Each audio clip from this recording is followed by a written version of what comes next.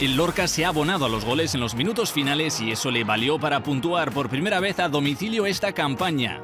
Visita el Artés Carrasco el Lugo tras caer en el ancho carro y perder a Nico Albarracín por lesión.